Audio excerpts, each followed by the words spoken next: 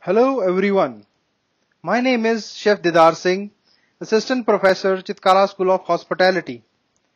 In today's session, we'll discuss about how to judge the quality of bread. Most of the commercially produced bread in the country is sandwich type and open top loaves are rarely seen in the market. Reasons for this change may be many. Example, non-availability of sufficiently strong flour to produce open top loaves, consumer preference for streamlined square slice of bread, convenience of the baker in producing sandwich bread, convenience in storing sandwich bread and so on. However, for judging the various characteristics, an open top bread should be tested. It may not be possible to notice some of the finer points of distinction in case of sandwich bread. When lid is put on sandwich bread before baking, the expansion of bread during baking operation is restricted, which in turn will affect the crumb structure of the bread and some other characteristics also. The appearance of an open top loaf will convey quite a bit of information about its, its characteristics to an experienced baker, while the appearance of a sandwich bread may often prove to be delusive. In order to make a complete assessment of the quality of bread, it should be examined both for external as well as internal characteristics which are external characteristics involve volume, symmetry of shape, bloom, crust color, evenness of bake, oven break and the internal characteristics involve color, structure, texture and sheen, flavor and aroma, crumb clarity and elasticity, moistness and cleanliness. Let's now talk about the first external characteristic of judging the quality of a bread is volume. When we see a bread, the first thing to catch the eye is its volume.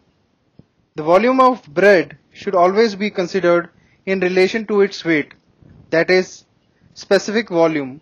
And for a particular weight of bread, the volume should be neither too big nor too small. Too much volume for the weight of bread indicates too open texture which entails crumbliness, early staling, etc.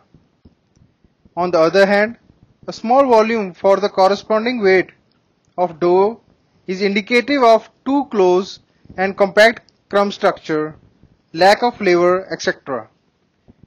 Factors conducive to acquiring good volume in bread are sufficient strength in flour, adequate fermentation to achieve proper conditioning of gluten, sufficient diastatic capacity in flour to maintain the gassing power of the dough at the time of baking, proper proofing and baking conditions. Symmetry of shape. This is another characteristic of bread which will be affected only in the case of open top loaf as a sandwich bread is bound to have symmetry of shape. The lower part of a bread is guided by the walls of the mold, while the upper part has free expansion. There should be such a harmony between these two parts of the bread that it presents a pleasing appearance.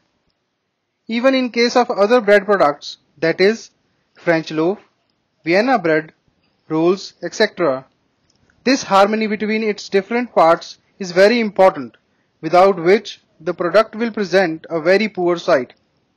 If a piece of dough having more weight is placed in a mold, the lower part will be guided by the walls of the mold and will remain as usual. But the expansion of the top part will be exaggerated so as to present a non-symmetrical shape.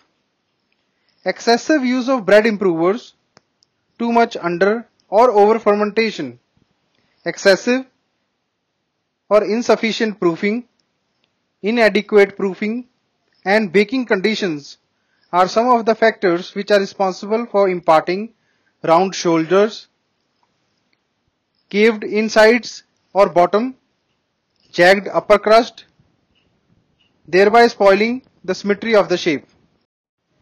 The next external characteristic is bloom.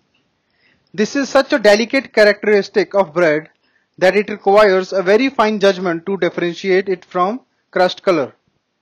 Just as a healthy plant or a healthy human being has a different appearance from unhealthy ones, so is the natural bloom of bread different from artificially acquired shine. If a bread having natural bloom is kept besides another bread having artificial shine that is acquired by brushing with fat, the difference can easily be made out. Bloom is that natural flush which can be acquired in bread only by the use of good raw material and proper care at each and every stage of processing. The next external characteristic is crust color. Crust of bread is supposed to have a pleasing golden brown color. Since caramelization of sugar is responsible for imparting such color to the crust, the intensity of color will depend on the quantity of sugar available for caramelization at the time of baking. Yeast also requires sugar for gas production. Therefore, Availability of sugar for caramelization is influenced by the activity of yeast during fermentation time. For whatsoever reason such as slack dough, lack of salt, high temperature of fermentation room, etc. If more sugar is consumed by the yeast during fermentation time, the crust color will be pale or light brown.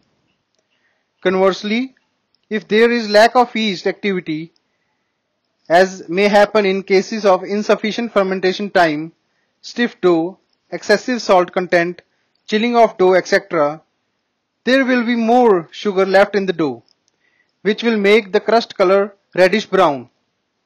That is again not very pleasing to the eye.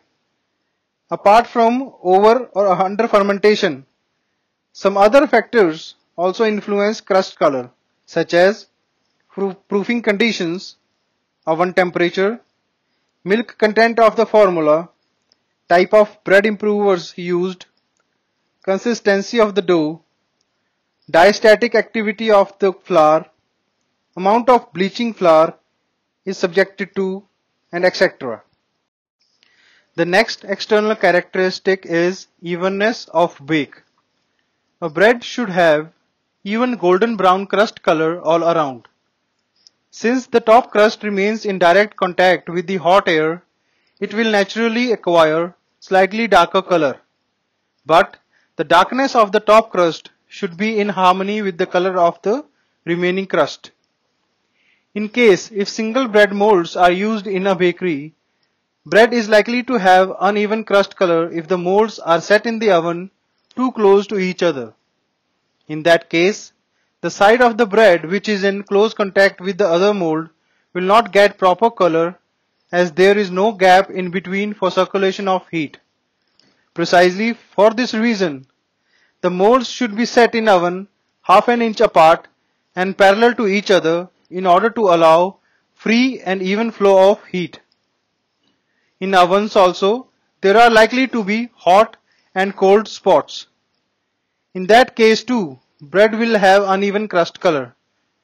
Over fermentation or over proofing will create a condition where large gas pockets will remain entrapped between walls of the mold and body of the bread. In that case, the whole body of the bread will not remain in touch with the mold and heat absorption will be uneven and crust color will also be uneven. The last external characteristic is oven break. When an open top loaf is being baked, crust formation on the side and the top of bread takes place earlier while there is still no crust formation on the portion of the bread which is nearest to the upper edge of the mold. When the expansion takes place in the inner part of the bread, the gas stretches this weaker part and escapes through the opening thus created. This is called break. At this break, stretched and coagulated gluten strands could be clearly seen. The characteristic of the break is known as shred. If the flour is of good strength, dough is correctly fermented and proofing and baking conditions are proper, then the break must be smooth which is invariably a sign of good bread. It had been discussed earlier that the gluten of dough should be so conditioned during fermentation that it could stretch with the expansion or the expanding gas and still have sufficient resistance to retain gas. It is the adequate balance between these two conditions which comes from proper fermentation and which is also responsible for giving a smooth break.